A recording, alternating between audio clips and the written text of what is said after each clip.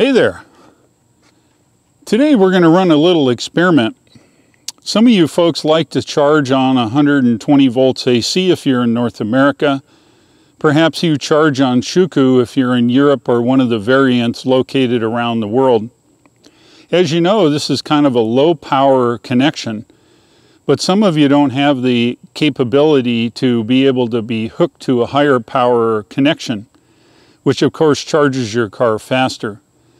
So today we're going to run an experiment. The plug located way over there between the last two bays is 120 volts AC. Here in North America, that's what we have for our normal house current. However, in Europe, you have 240 at nearly double the power. But we're going to run this experiment just to see how many extension cords we can have and therefore we'll figure out exactly how far we can run normal extension cords to charge our car.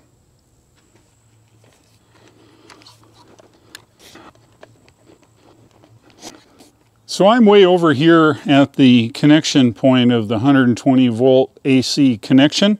Let's see exactly how far it is to the car. Okay, 100 feet there. That's 30 meters. And to the car, we have 124 feet, and I suspect that's about 40 meters and a little bit more. So that's where we're going to be our initial test run here.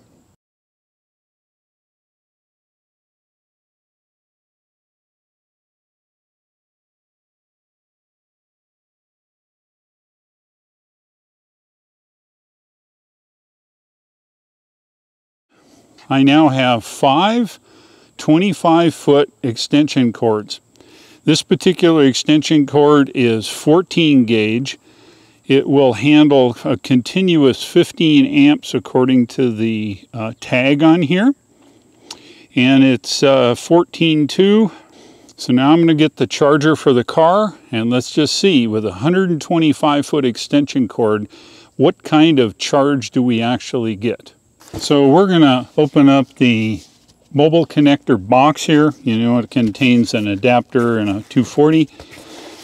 Get the mobile connector out.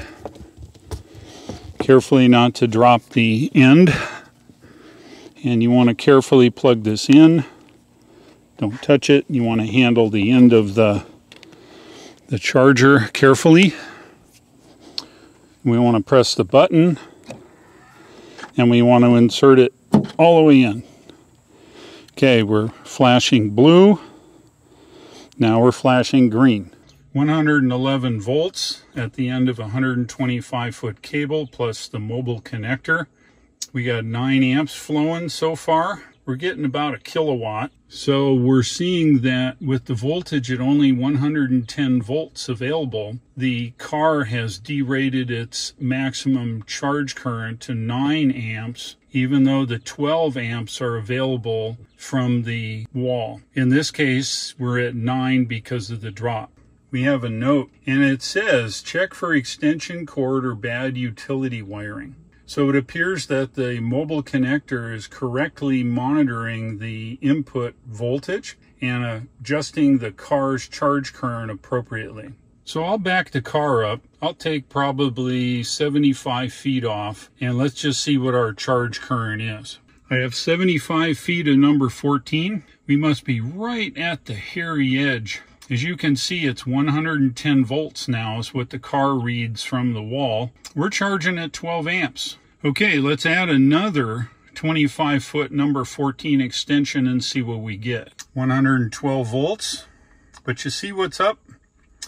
By adding the fourth extension cord, it must be low enough that the mobile connector senses the voltage drop and it limits it at 9 amps. But when this voltage gets below about 110 volts, maybe 109, it's going to limit its charge current to the car. It's okay. You can run an extension cord which makes this drop down in current. Of course, you're dropping a lot of power across that skinny extension cord. So let's try another experiment. I have some number 12 extension cords and they're 50 feet long.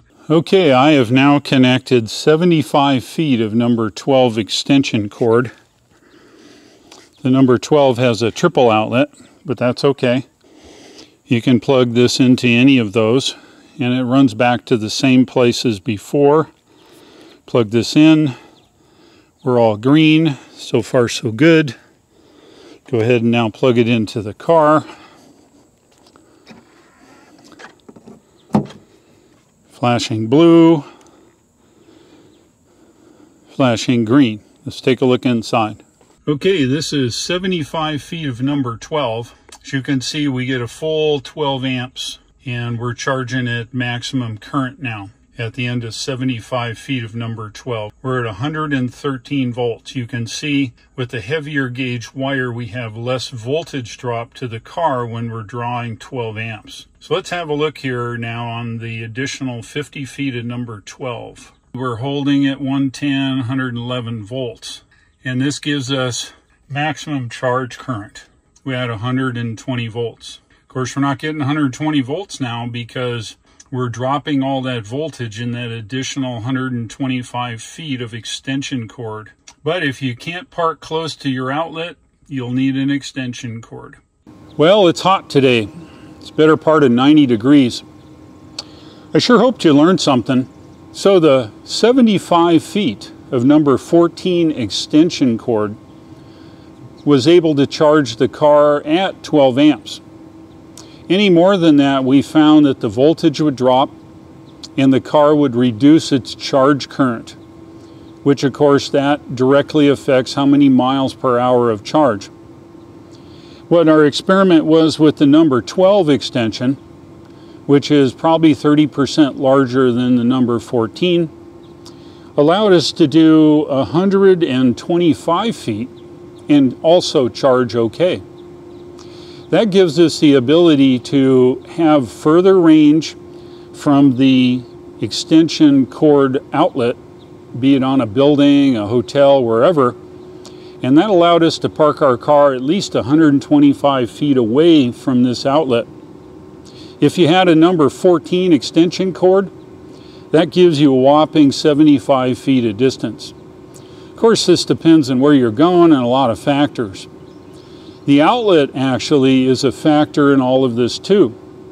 This particular outlet has a 15 amp circuit breaker and I suspect it has number 14 wiring.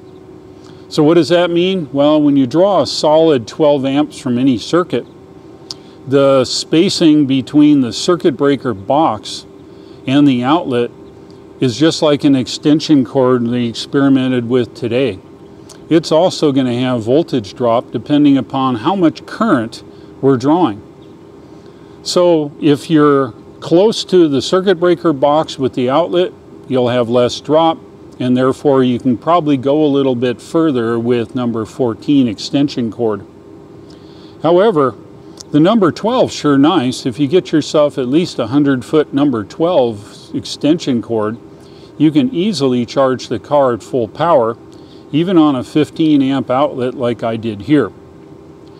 So it's better to have it and not need it than it is to need it and not have it. So putting a 100 foot number 12 extension cord in your frunk along with your other adapters is an excellent idea. You just never know where you might need to get charge at. And that of course will give you the maximum rate of charge here in the Model Y. Electricity is a bit complex for some Ohm's law really helps you out a lot. And if you wanted to know, we were drawing 12 amps in this number 14. And you notice that the feed voltage at the circuit breaker is 124 volts. That means we were dropping a lot of power here to get it all the way down to 110. By putting larger wire like this number 12, you're going to have less drop. And the result is you're going to be able to charge the car quicker. So I hope you learned something. It's kind of a complex type of thing, but always be safe in plugging in and plugging out extension cords. Never do it barefooted unless you don't want to be around. And the last tip is always have your stuff in your frunk just in case you need to charge. And if you'd like to buy yourself a Tesla, The referral link here shown at the bottom of the screen will get you a thousand miles of free supercharging. When you're traveling, that's quite a distance, but it's free. Follow the link, place your order through the Tesla website, and I would certainly appreciate it. Thank you for watching. I'll look for you again and take care.